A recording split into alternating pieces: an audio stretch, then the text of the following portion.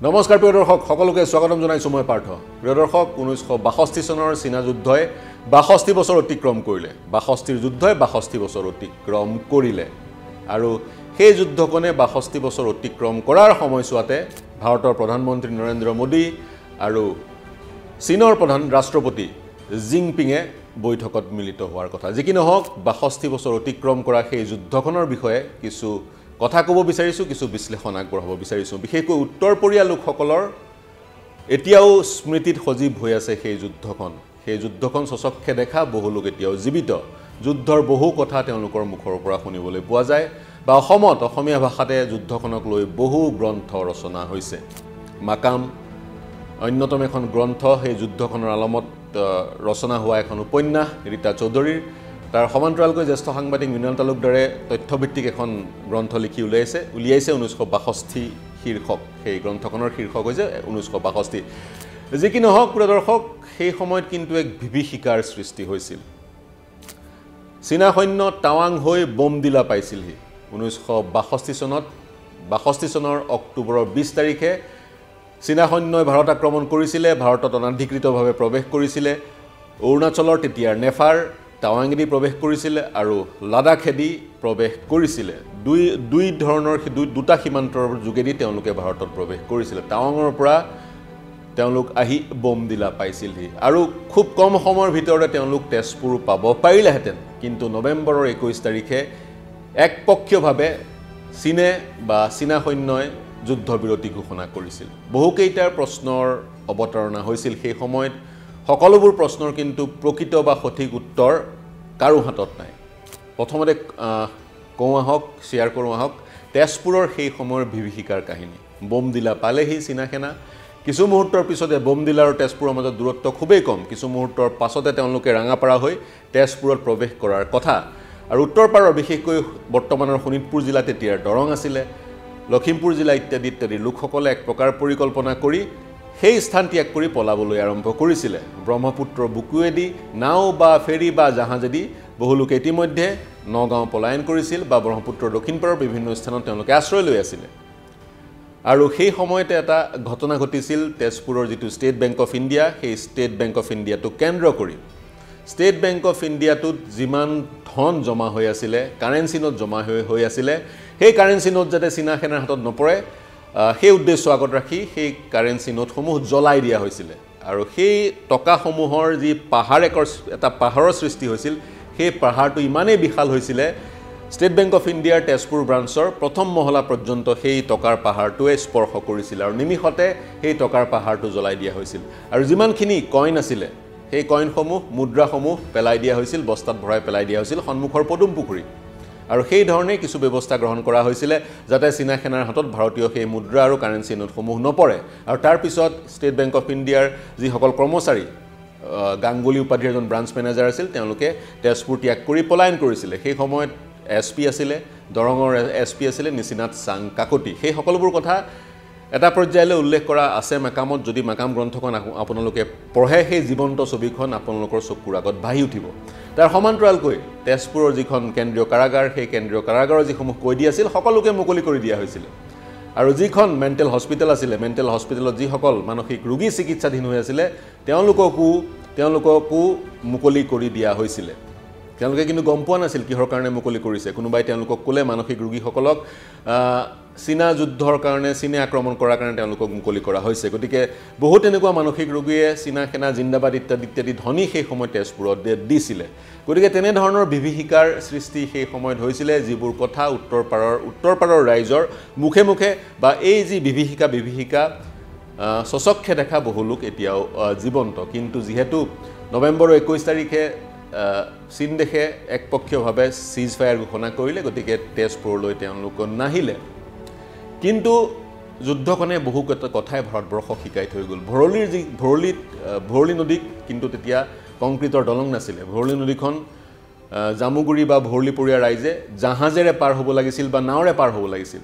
তাৰপিছত ভৰলীৰ ওপৰত দলং নিৰ্মাণ হ'ল আৰু একেবাৰে টাৱাঙলৈকে motor all weather motorable road নিৰ্মাণ কৰাৰ পদক্ষেপ কেন্দ্ৰীয় চৰকাৰে গ্ৰহণ কৰিলে কাৰণ এটা ডাঙৰ ছেটবেক আছিলে ভাৰতৰ কাৰণে সেই যুদ্ধ সেই যুদ্ধত ভাৰত এক প্ৰকাৰ পৰাজিত হৈছিলে। গতিকে সেই বিভীষিকাৰ কাহিনীবোৰ ক'লোঁ সেই সময়ত উত্তৰ কোৰিয়া যিসকল ৰাইজ তেওঁলোকৰ মুখত শুনা যায় মাটি খান্দি বাংকাৰ নিৰ্মাণ কৰি তেওঁলোকে বাংকাৰত লুকাই আছিলে। ৰেডিঅ'ই তেওঁলোকৰ একমাত্ৰ আহিলা আছিল ভাৰতবৰ্ষৰ বা কেন্দ্ৰীয় চৰকাৰৰ পদক্ষেপসমূহৰ বিষয়ে অৱগত হোৱাৰ নেহেৰুৰ ভাষণ ইত্যাদি ইত্যাদি তেওঁলোকে ৰেডিঅ'তে শুনিছিলে।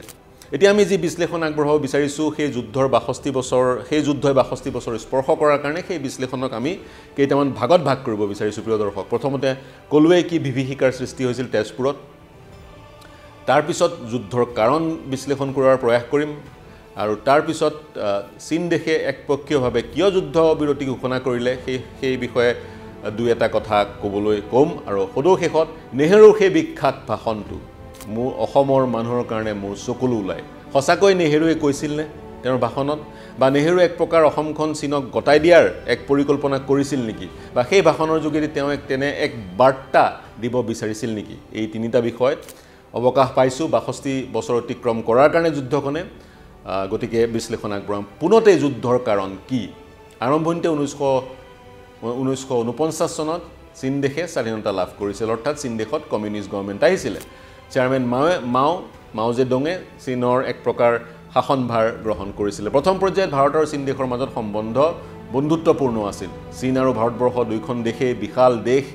সমান্তৰালকৈ নতুনকৈ স্বাধীনতা লাভ কৰা দুয়োখন দেশ আৰু দুয়োখন দেশৰ এক জীৱন্ত সভ্যতা। আৰু সেই সভ্যতাৰ মাজত আদান প্ৰদান বহু হাজাৰ বছৰ পুৰণি। গতিকে দুয়োখন দেশৰ মাজত বন্ধুত্বপূৰ্ণ সম্পৰ্কই আছিলে। কিন্তু দুয়োখন দেশৰ সীমান্তৰ বিভিন্ন স্থানক লৈ দুয়োখন দেশৰ কিন্তু মতানৈক্য ঘটিছিলে। চীন দেশে দাবী কৰিছিলে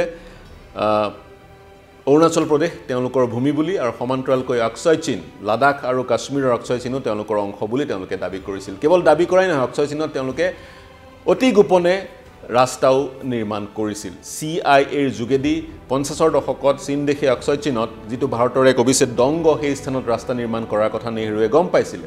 নেহেৰুৱে কিন্তু চীন দেশৰ সৈতে বন্ধুত্বপূৰ্ণ সম্পৰ্ক কৰিব বিচাৰিছিল আৰু তাৰ উদাহৰণ পঞ্চাছৰ দশকত দুয়োখন দেশৰ মাজত স্বাক্ষৰিত হোৱা পঞ্চশীল পঞ্চশীল চুক্তি। সেই সময়ত ভাৰত ইণ্ডি চিনি ভাই ভাই যি শ্লোগান সেই শ্লোগানো খুব জনপ্ৰিয় হৈছিল।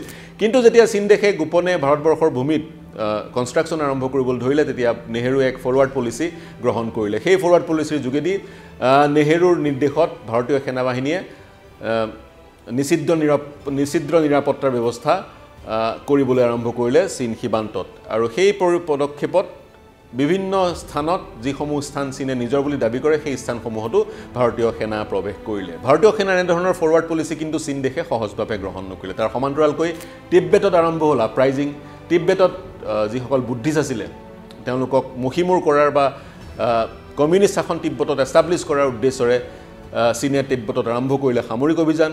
সেই সামৰিক অভিযানত সামৰিক অভিযানৰ যি যি অত্যাচাৰ সেই অত্যাচাৰ সহিব নোৱাৰি বা নিজৰ প্ৰাণ ৰক্ষা কৰিবলৈ দলাই লামাই ঊনৈছশ ঊনষাঠি চনত টিব্বেট ত্যাগ কৰি ভাৰতলৈ পলায়ন কৰিলে। প্ৰথমতে টাৱাঙেদি অৰুণাচল তেতিয়াৰ নেফা তাৰপিছত তেওঁ তেজপুৰত প্ৰৱেশ কৰিলে। তেজপুৰত তেওঁক তেজপুৰত তেওঁ যেতিয়া কিছুদিন আছিলে তেতিয়া স্বয়ং ইন্দিৰা গান্ধী তেজপুৰ পাইছিলহি। সাক্ষাৎ কৰিছিলে দলাই লামাক আৰু দলাই লামাক ৰেড কাৰ্পেট পাৰি দিয়া হৈছিলে। ৰেড পাৰ্পেট পাৰি দিছিলে নেহেৰুৱে আৰু দলাই লামাক ভাৰতত আশ্ৰয় দিয়া হৈছিল। দলাই লামাক ভাৰতত আশ্ৰয় দিয়াৰ এই যি পদক্ষেপ এই পদক্ষেপো চীনে খুব সহজভাৱে গ্ৰহণ কৰা নাছিলে। আৰু ভাৰতে বা নেহেৰুৱে কেতিয়াও ভবাই নাছিলে চীনে ভাৰতক আক্ৰমণ কৰিব বুলি। আৰু ভাৰতীয় সেনাও ইল প্ৰিপেয়াৰ্ড আছিলে প্ৰস্তুত নাছিলে। চীনৰ সেই আক্ৰমণক প্ৰতিহত কৰিবলৈ ভাৰতীয় সেনা প্ৰস্তুত নাছিলে। এটা প্ৰশ্ন এই সময়ত উত্থাপিত হয় বিভিন্নজনে উত্থাপিত কৰে বিশেষজ্ঞ উত্থাপিত কৰে। প্ৰশ্নটো হৈছে ভাৰতীয় ভাৰতীয় ভাৰত চৰকাৰে সেই যুদ্ধখন প্ৰতিহত কৰিবলৈ বায়ু সেনা কিয় ব্যৱহাৰ নকৰিলে? সেই যুদ্ধখনত চীন বা ভাৰতে বায়ু সেনা বা নেভিৰ ব্যৱহাৰ কৰা নাছিল যি কি নহওক বিছ অক্টোবৰ ঊনৈছশ বাষষ্ঠি চনত সীমান্তৰ দুই স্থানৰ যোগেদি ভাৰতবৰ্ষত প্ৰায় দহ হেজাৰ চীনা সেনাই অনাধিকৃতভাৱে প্ৰৱেশ কৰিলে। আক্ৰমণ কৰিলে ভাৰতবৰ্ষ। ভাৰতবৰ্ষই টৰকিবই নোৱাৰিলে কি ধৰণে প্ৰতিক্ৰিয়া প্ৰকাশ কৰিব বা ইয়াৰ প্ৰত্যুত্তৰ কেনেদৰে দিব। কিন্তু ভাৰতীয় সেনাই লাডাখত বা টাৱাঙত অৰুণাচলত প্ৰবল বীৰত্বৰে এই যুদ্ধ প্ৰতিহত কৰিলে।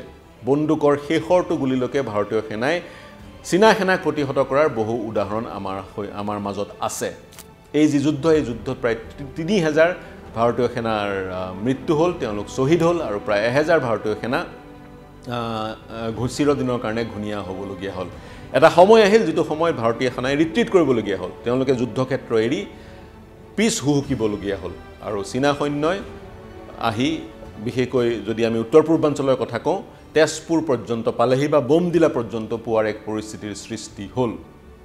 তেতিয়া তেতিয়া কিন্তু তেতিয়া কিন্তু সেই বিভীষিকাৰ দিনবোৰৰ উৰ পৰা নাছিলে। সেই সময়ত আৰু এটা ঘটনা ঘটিছিল সেইটো হৈছে অসমত বহু চীনা লোক আছিলে।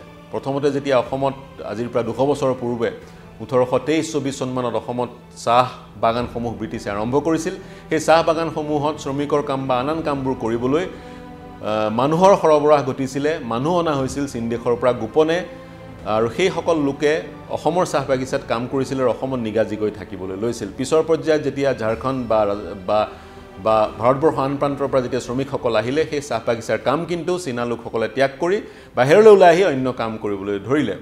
আৰু ঊনৈছশ বাষষ্ঠি চনত সেই অসমত বসবাস কৰা চীনা অসমীয়াসকল যিসকলে তেতিয়াও চীন দেশৰ পাছপৰ্ট তেওঁলোকৰ হাতত যিসকলৰ হাতত আছিল তেওঁলোকক তেওঁলোকক গ্ৰেপ্তাৰ কৰা হ'ল।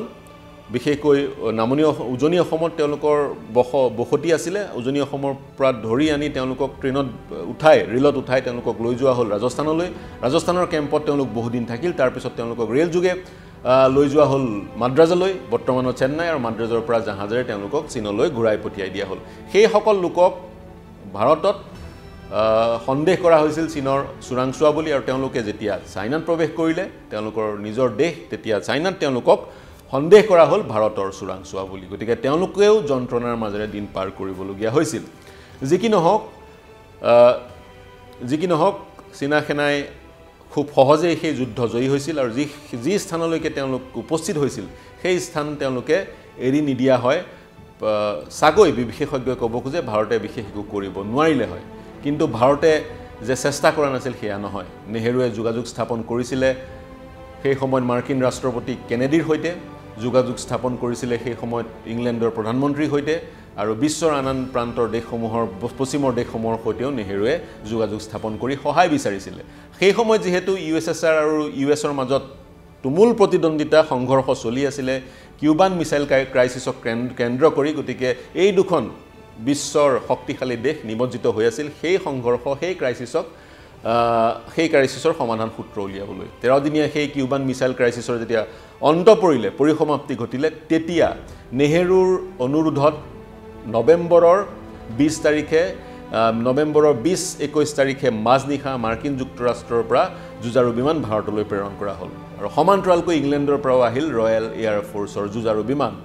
আৰু সেই দুইখন দেশৰ পৰা যুঁজাৰু বিমান প্ৰেৰণ কৰাৰ কাৰণে ভীতিগ্ৰস্ত হৈ চাইনাই নৱেম্বৰৰ একৈছ তাৰিখে একপক্ষীয় যুদ্ধবিৰতি ঘোষণা কৰিলে বুলি বহুতে ক'ব খোজে। ই এক অন্যতম কাৰণ কিন্তু আন কাৰণ বহু কাৰণ হ'ব পাৰে।